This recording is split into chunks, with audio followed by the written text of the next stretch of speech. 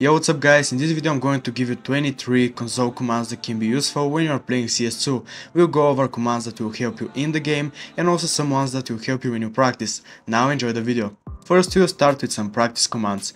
SV cheats 1 toggle usage of cheat commands in private matches. No clip allows you to fly through the map. MP round time 60 set round time to 60 minutes.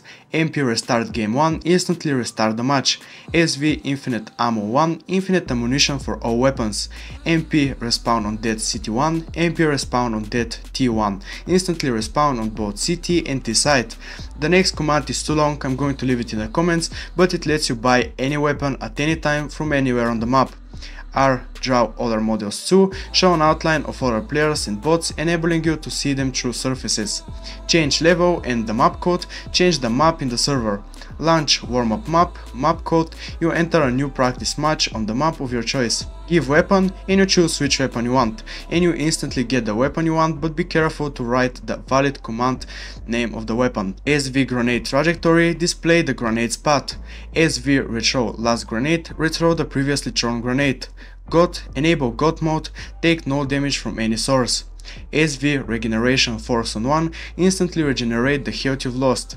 Q, instantly kill your character and respawn. Now let's move to CS2 FPS and useful commands that you can use, but before we continue, Skins Monkey is an automated CS2 trading site with a 35% bonus for every cash deposit and $5 for completely free for $100 trade. Also Skins Monkey is the best website to get new skins, they have 24-7 live chat support and also as you can see we got filters that will help us to find the skins we are looking for. Get ready for an exclusive Christmas celebration with Skins Monkey. We've got a special treat just for you, a free gift. Claim Claim your completely free skin, enjoy up to 50% deposit bonus or grab some free balance on their website. No hidden tricks, just free things. Wondering how to claim your gift? Just go to their website, create an account and you'll see the free gift. This is what I got from my gift. But wait, there's more. Dive into Santa's Rifle Advent Calendar. Each day brings a new gift, deposit bonuses, XP and tickets to win 13 skins. Your chance to win is just a few clicks away. Happy holidays.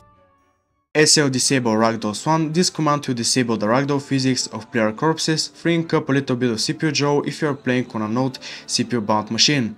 CL hide avatar images 1, this command as you can imagine disables the avatar images for players in CS2. These avatars are taken from Steam itself and disabling them can free up some small tidbits of resources for both CPU and GPU. CL crosshair friendly warning 0. If you really want to make CS2 as lightweight as possible for your PC, you can use this command to remove the friendly fire warning that appears on your crosshair when you aim at a teammate.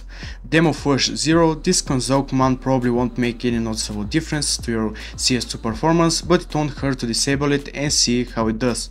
Essentially, it stops a particular process from writing data to a file with each network update. CL draw HUD 0, you can use this command to take clean screenshots in the game as it removes all HUD elements. Sensitivity, enter the command followed by the value that you want as your mouse sensitivity. The same can also be done through a sliding scale in the in-game settings. And the last command for this video is quit. People mostly use this command when they are tilted and trying to leave the game as soon as possible. So yeah guys, I hope you enjoyed this video. Make sure to like and subscribe for more content like this and see ya.